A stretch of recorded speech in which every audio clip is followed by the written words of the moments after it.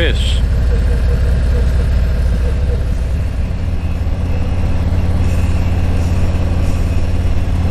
Good morning, YouTube. Hey, we find the uh, heat finally broke. It was in the, I think it was in the uh, low 60s, upper 50s last night. Absolutely beautiful. Look at this. Love it. I'm actually chilly and I got a sweatshirt on.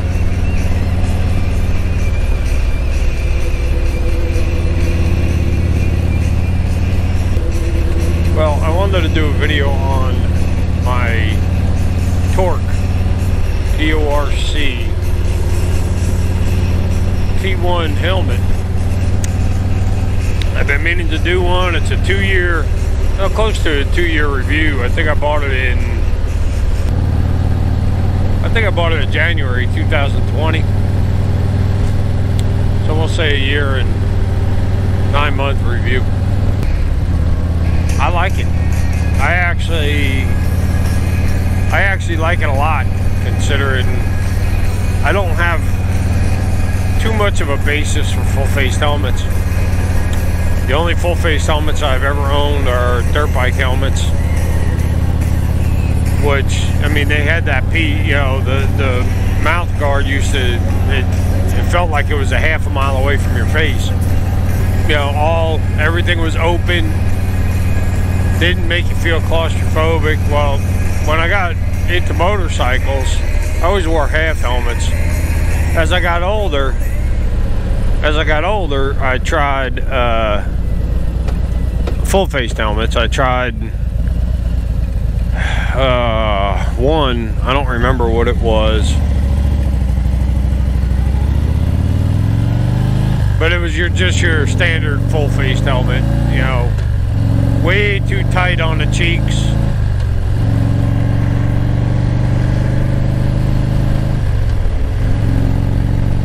Uh, way too too enclosed. It's like you had no peripheral vision so I bought a modular helmet, which when the lid was closed, it was the same thing. But it wasn't bad when the lid was open, so I figured, okay, I can, you know, lift the lift the lid at stoplights and lift the visor and stuff like that. That was the helmet I was wearing in a couple of my first uh, videos, and that one I built from Cycle Gear. Uh, it, it, was better. Well, I, I was gonna buy a Bell Bullitt, but I kept reading that the Bell Bullitts have a round oval shape. Where if you look at the top of my head, it looks, I'm a, definitely an egghead. It's, you know, I, I would say I'm more of an intermediate to a long oval. It's to hold all the brains. Well, so I started looking around. I was going to buy one of those, and yeah. I decided, let me look around a little bit more. So I just rummaging through, I found these things, these uh, these Torc Torc T1s, and I found a review on YouTube from a guy, and I'm sorry I don't remember his name. I'll put it right down below. I don't think he does YouTube anymore it was a really good review.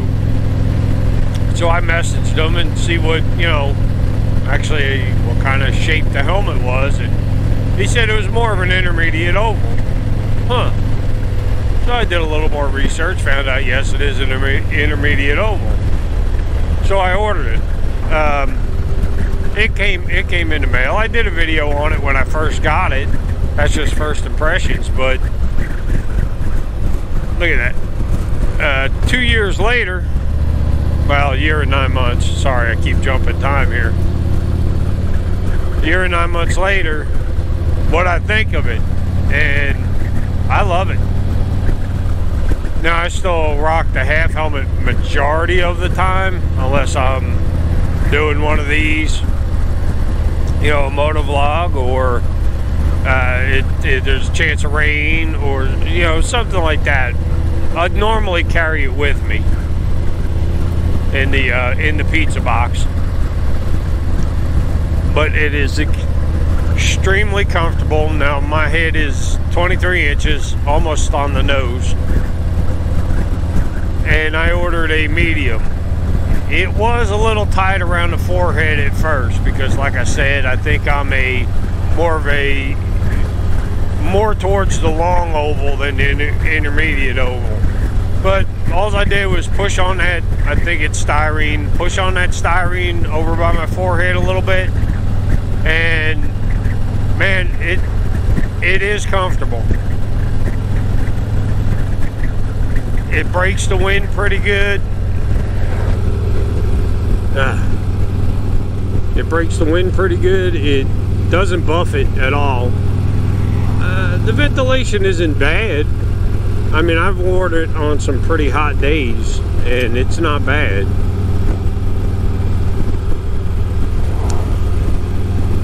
Not, it definitely isn't no half helmet.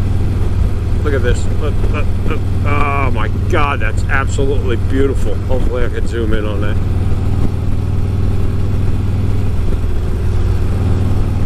yeah, I mean the the interior is extremely soft, um, and couple of people that I know have the Bell Bullitt, like Nick, Jersey Nick Moto. He has the Bell Bullitt, and it, the interior is pretty much the same, and it's you know half the price. The venting on it's a little different, where Nick has one uh, center vent on the chin. I have two. He has the three. Um, we'll call them portholes in the top.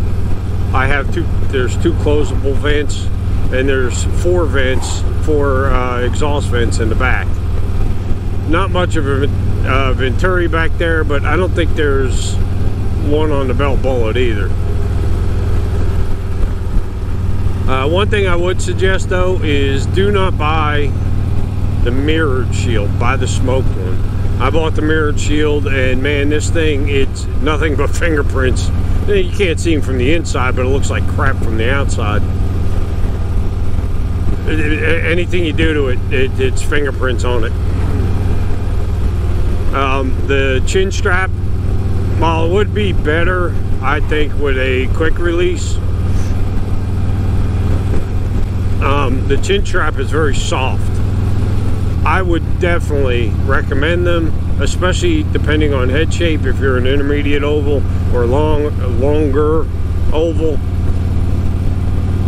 I would definitely suggest this. Uh, if you're a full round, I would probably more go with the Bell Bullitt. That that's that would be my suggestion. Now I don't know because I never tried one. I'm just going by what I was told. But I would suggest one of those. You know, do your research, do your due diligence.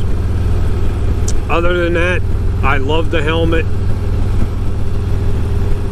It's comfortable. It's half the price of a Bell Bullitt. It's, you know, it, it, I like it.